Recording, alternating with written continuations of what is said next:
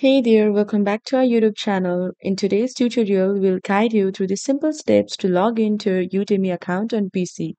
Whether you are a student or an instructor, this process remains the same. So let's get started. First, open your preferred web browser on your PC. You can use popular web browsers like Google Chrome.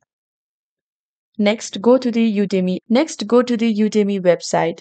To do this, simply type www.udemy.com.